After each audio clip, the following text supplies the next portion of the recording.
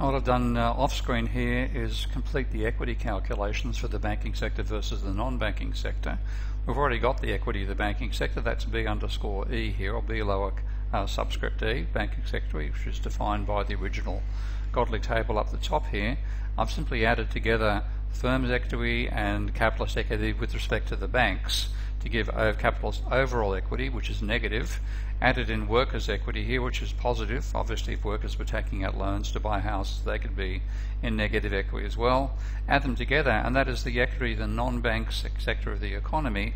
And by because of this, the law of accounting that assets minus liabilities equals equity for each ent, uh, financial operation in the economy and for each entity in the economy, then the non-bank sector must be a negative equity in a pure credit economy with respect to the banking sector, and the overall equity of the economy is zero. So I'll just take a copy of that item and whack it over here.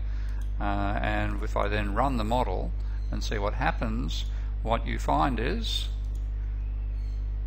that the banking sector is in negative equity and the um, non-banking sector is in sorry, the banking sector is in positive equity and the non-bank sector is in negative equity. it takes a while for the economy to settle down. It starts off with uh, uh, the banking sector being in positive equity of 10.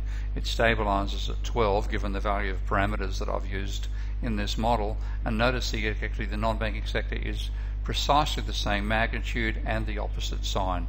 The banking sector is in positive equity of 12, the non-banking sector is in negative equity of minus 12, and this number down here uh, is as close to zero as you can get in a simulation. That is uh, 162 by 10 to the minus 15. So the decimal point, 15 zeros and 162. Okay, let's now change the rate of lending. Let's have lending happening more rapidly. What happens? Well, notice that the equity position of the banking sector improves and the equity sector of the non-banking sector deteriorates. Why would therefore the banking, the non-bank sector borrow from the banking sector in this situation? The outcome for income tells you because there's more money in the economy which has been created by banks lending more than they're getting back in repayments and that money is turning over at the same rate that I used initially, then you get an increase in economic activity. So the negative equity is a, a downer, uh, but the reason you borrow the money is because of rising incomes over time. But you cannot escape if you have a, a pure credit economy, the, the, Austrian fiction of a world in which bank government doesn't exist or is so trivial you can ignore it, pretty much the 19th century. Uh, compared to what it's like post the, post the Second World War and Great Depression, then inescapably the non-bank sector of that economy will be in negative equity.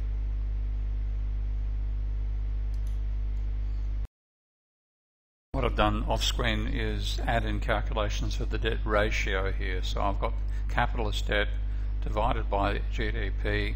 I'm calling out the debt ratio of the non-government sector because what I'm going to do in the next video is bring in a government sector so I can actually, the private sector debt versus the government sector debt.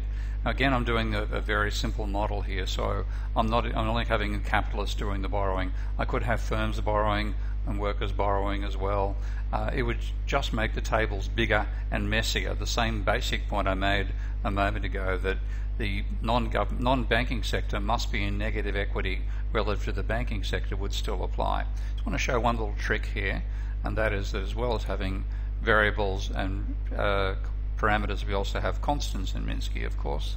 And I'm going to bring in a constant with the value of 100, uh, which is always 100, can't be varied.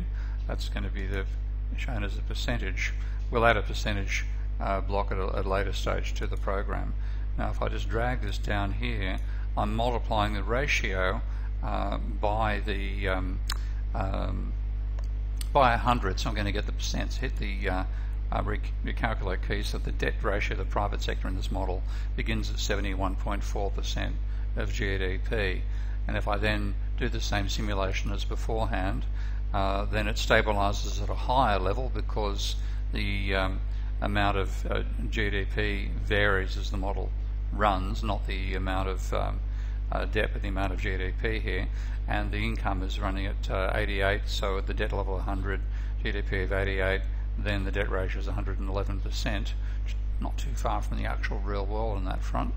And if I now then say, well, let's have a an increase in the rate of lending and a slowdown in how fast loans are repaid, then the debt ratio rises as a result of that. Uh, but also at the same time you have rising incomes. So the rising debt ratio may be worth it because of a high level of income uh, going to the capitalists. Uh, so that's the that's the basic idea here. Uh, you can vary the rate of lending and see what happens to the economy. If lending shows down and repayment speeds up, you will have a decline in the economy. And then we can go, let's say repayment slows down, lending accelerates, the economy will recover again. So this is one of the reasons that endogenous money is so important.